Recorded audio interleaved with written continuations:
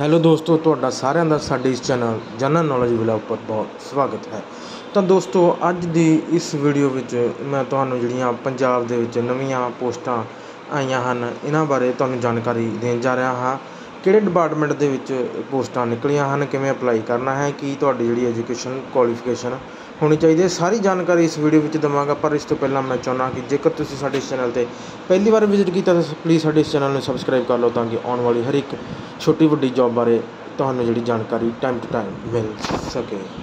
ਤਾਂ ਦੋਸਤੋ, ਸਭ ਤੋਂ ਪਹਿਲਾਂ ਆਪਾਂ ਦੇਖ ਲੈਂਦੇ ਹਾਂ ਕਿ ਇਸ ਪੋਸਟ ਵਾਸਤੇ ਜਿਹੜਾ ਇੱਕ ਤੁਸੀਂ ਐਪਲੀਕੇਸ਼ਨ ਫਾਰਮ ਭਰ ਕੇ ਦੇਣਾ ਹੈ। ਇਸ ਐਪਲੀਕੇਸ਼ਨ ਫਾਰਮ ਦੇ ਵਿੱਚ ਤੁਸੀਂ name father's name date of birth category nationality communication address contact number ਅਤੇ ਆਪਣੀ ਐਜੂਕੇਸ਼ਨਲ ਕੁਆਲੀਫਿਕੇਸ਼ਨ ਜਿਹੜੇ ਭਰ ਕੇ ਅਤੇ ਸਾਰਾ ਜਿਹੜਾ ਫੋਰਮ ਦਿੱਤਾ ਹੈ, ਇਹ ਸਾਰਾ ਫਿਲ ਕਰਕੇ ਇਹਨਾਂ ਨੂੰ ਜਿਹੜਾ ਸਬਮਿਟ ਕਰਵਾਉਣਾ ਹੈ।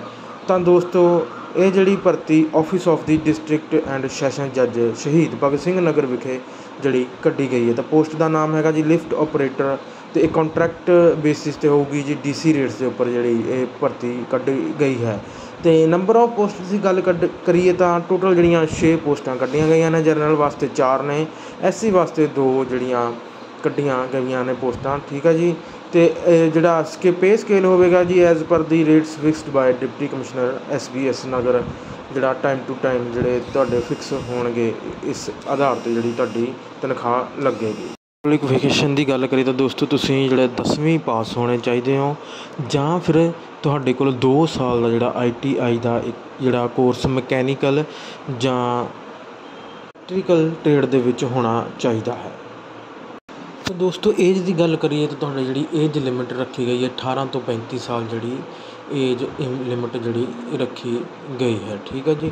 ਦੋਸਤੋ, ਜਿਹੜੀ ਲਾਸਟ ਡੇਟ ਹੈਗੀ ਜੀ 5 7 2024 5 ਵਜੇ ਤੱਕ ਤੁਸੀਂ ਜਿਹੜੀ ਆਪਣੀ ਐਪਲੀਕੇਸ਼ਨ ਫਾਰਮ ਹੈ ਇਹਨਾਂ ਦੇ ਦਫ਼ਤਰ ਵਿਖੇ ਜਿਹੜੀ ਐਪਲੀਕੇਸ਼ਨ ਜਮ੍ਹਾਂ ਕਰਵਾਉਣੀ ਹੈ।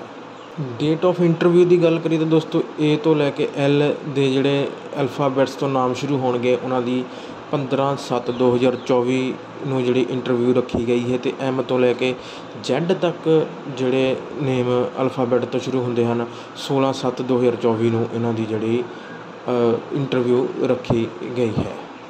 ਤਾਂ ਦੋਸਤੋ, ਤੁਸੀਂ ਇਹ ਜਿਹੜਾ ਨੋਟੀਫਿਕੇਸ਼ਨ ਚੰਗੀ ਤਰ੍ਹਾਂ ਪੜ੍ਹ ਕੇ ਫਿਰ ਇਹਨਾਂ ਪੋਸਟਾਂ ਵਾਸਤੇ ਅਪਲਾਈ ਕਰਨਾ ਹੈ। ਤਾਂ ਦੋਸਤੋ, ਇਹ ਸੀ ਡਿਸਟ੍ਰਿਕਟ ਸੈਸ਼ਨ ਜੱਜ ਸ਼ਹੀਦ ਭਗਤ ਸਿੰਘ ਨਗਰ ਵਿਖੇ ਆਈਆਂ ਭਰਤੀਆਂ ਬਾਰੇ ਜਾਣਕਾਰੀ ਤਾਂ ਇਸੇ ਤਰ੍ਹਾਂ ਹੋਰਨਾਂ ਜੌਬਸ ਬਾਰੇ ਜਾਣਕਾਰੀ ਲੈਣ ਲਈ ਸਾਡੇ ਇਸ ਚੈਨਲ ਨਾਲ ਲਗਾਤਾਰ ਜੁੜੇ ਰਹੋ ਤੇ ਸਾਡੇ ਇਸ ਚੈਨਲ ਨੂੰ ਸਬਸਕ੍ਰਾਈਬ ਕਰਨਾ ਨਾ ਭੁੱਲਿਓ ਥੈਂਕ ਯੂ